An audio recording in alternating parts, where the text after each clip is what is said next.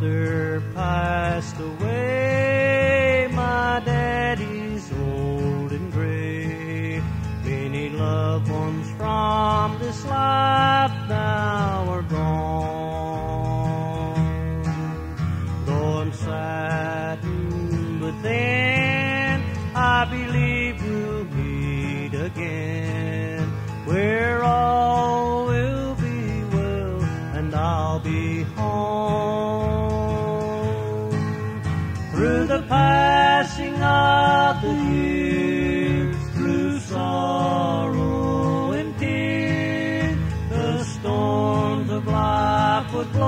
Blow so hard and long.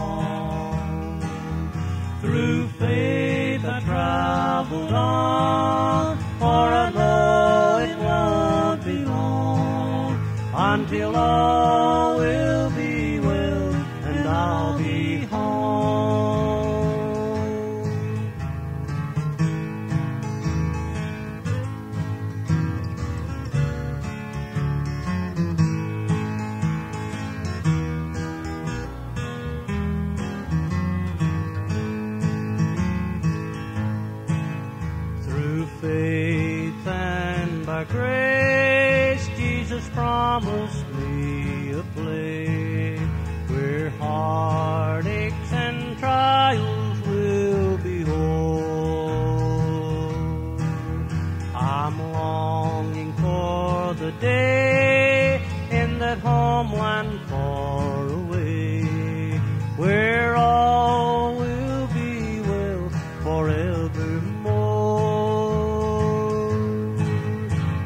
the passing of the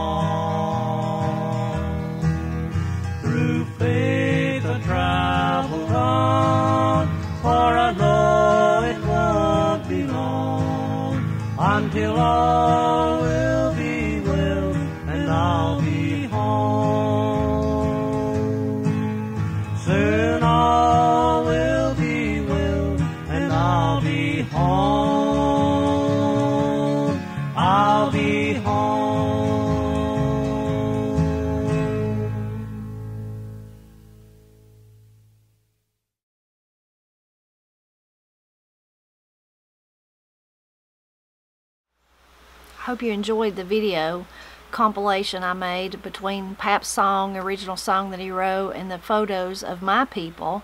I hope that you enjoyed um, enjoyed it as much as I did. It's funny lately I've been thinking about my people. It all started a couple of weeks ago when I was talking to a friend and we were talking about stuff and I don't even remember if it was him or if it was me that said my people but it started me thinking about that, about how we use that in Appalachia, how it's used, um, the the phrase "my people" to use specifically. Lots of times, your people, your family, who your family members are, my people. Uh, my people of the Wilsons, and now that I'm married into the, my people of the Pressleys. Uh, Granny was a Jenkins, so the Jenkins are my people. Granny Gadsby was a Truitt, so the Truitt are my people. You know, that's the, the gist of it, most of the time, how it's used.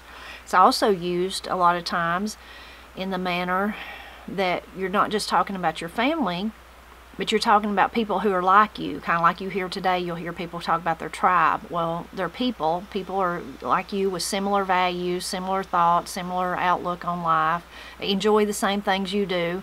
Course, a lot of Katie's people are musicians, people that love old time music, love that traditional mountain music as much as they do and as much as we do. So, those are some different things that come to mind when you think about my people. The Dictionary of Smoky Mountain English has an entry for people, so I'm going to read that to you. People, a noun. The members of a family or extended group of kin. In 1957, it was documented in the Great Smoky Mountain National Park, someone saying, Well, I don't talk about my people if I can't say something good about them. I don't want to say nothing bad about them.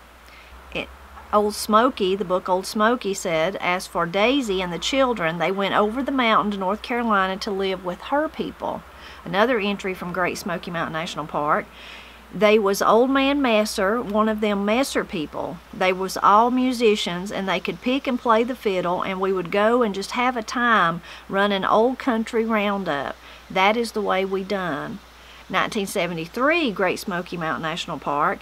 Now my father's people was all raised up in Madison County, North Carolina.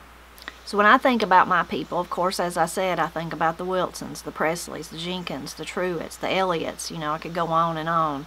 Those are the people that come to mind when I think about my people. I think about the people who live here in Brasstown. I think about the people that I, I knew all my growing up years. I think about those people. Think about people that was friends with Granny and Paps. Uh, so their children and I are friends today. Some of their grandchildren and my uh, Granny and Paps' grandchildren, my daughters are friends today. Those are the people that I think about uh, when I think about my people. But I also think about those people, like a lot of you, who identify with the heritage the culture, the traditions of Appalachia. I think of those people as my people. So you're probably one of them. You're watching this video. If you're interested in Appalachia, I'm considering you one of my people. And I think that's a wonderful thing um, to, to dwell upon, to study upon, as we would say, to think about that people can come together in a united uh, whether it's celebrating Appalachia or if it's old time music like Corey and Katie, I think that's just a wonderful thing. But I hope, I guess I'm feeling a little bit nostalgic. I always feel like that during the summer. Part of it, I think, is in the last few years is because uh, Pap's, Pap died in April. His birthday's in July. So he's always weighs heavy on my mind during this time. But more than that, I think it's because summertime was typically it's the time the slower pace when we were all the kids were out of school when I was growing up. And Granny and Pap would maybe visit more. Other people would come to visit them more. Family would come. We might go visit other family in different areas and spend the night uh, it just makes you think of people that are gone, like the song was saying, makes you think of home, all those things, and that's just what I was feeling when I made this video and made that, especially the little video with Pap's song. I was just thinking about that, how to have a home and to have those people that, your people, what a wondrous amazing thing that is and I hope that you have that in your life and I hope you have those wonderful memories to look back upon and to think about going home. I've often said I wouldn't take anything for uh, my life today. I'm very blessed. I'm so thankful uh, for God how he's blessed me. Thankful for Matt thankful for Corey and Katie. Wouldn't take nothing in the world for them they're my life but there's part of me that, man, if I could just step back in time one time just for a day and go back to when it was Pap and Granny and me and Paul and Steve at home, mm, it'd be priceless. I don't, it, it'd really be priceless. So maybe you have those same kind of feelings. Not that you're not happy where you're at. I'm certainly beyond happy. But the, just those longings sometimes to go home one more time. I hope that you've enjoyed this video. I hope that you've got those people that you're strong, uh, that you feel strongly about in your life, whether it be virtually like me and you right now, or whether it be uh, your dad down the road, your brother that lives across the country, your neighbor, your best friend from school, whoever it is, I hope that you've got those same connections too. And I hope that you'll drop back by often as I celebrate Appalachia.